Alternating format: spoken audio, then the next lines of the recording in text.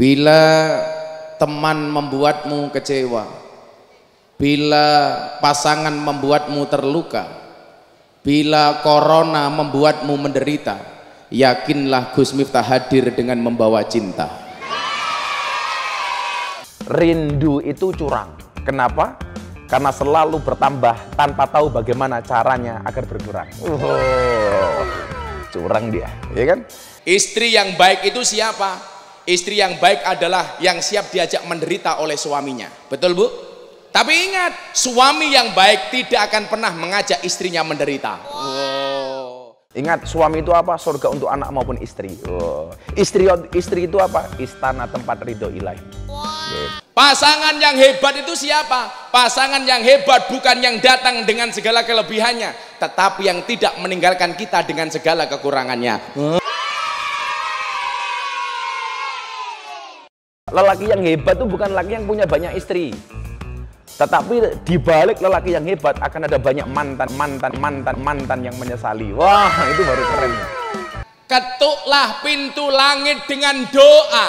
Karena yang terlockdown hanya buminya. Langitnya masih terbuka untuk hambanya. Kalau kamu punya istri janda, banggalah. Kenapa? Minimal janda itu jujur, sudah tidak gadis lagi. Daripada kamu nikah dengan gadis, tapi rasa janda. Wah, Ya Allah, bila dia jodohku jadikan dia istriku ya Allah. Namun bila dia bukan jodohku, cabut saja nyawa jodohnya ya Allah. Keren. Malaikatnya bengok bajigur. Kalau ada orang membicarakan kekuranganmu, tersenyumlah. Kenapa? Karena kekuranganmu saja diperhatikan, apalagi kelebihanmu. Ya Allah, bila dia jodohku jadikan dia istriku ya Allah. Namun bila dia bukan jodohku, mbok dicek lagi ya Allah. Boleh nggak apa-apa. Allah itu menciptakan manusia berpasang-pasangan, betul? Betul. Itu artinya apa? Kalau kamu tidak punya pasangan, berarti kamu bukan manusia. Lelaki yang hebat bukan lelaki yang mencintai banyak wanita, tetapi mencintai satu wanita dengan banyak cara.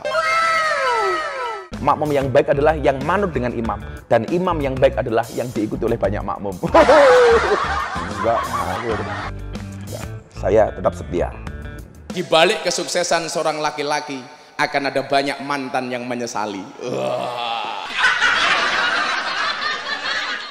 Merindukanmu tanpa pernah bertemu denganmu sama hanya dengan menciptakan lagu yang tak pernah ternyanyikan. Yes, yes, yes, aku dapat quote baru malam hari ini. Karena pacaran itu, orang pacaran itu seperti orang kencing di dalam celana. Maksudnya apa? Semua orang bisa melihat tapi tidak bisa merasakan kehangatannya. Assalamualaikum warahmatullahi wabarakatuh. Salah satu nasihat dari orang tua maupun para guru yang pasti saya ingat adalah jangan pernah mengulangi kesalahan yang sama. Saat itu saya berpikir, kenapa tidak boleh mengulangi kesalahan yang sama? Jawabannya adalah karena masih banyak kesalahan-kesalahan yang lain yang perlu kita coba.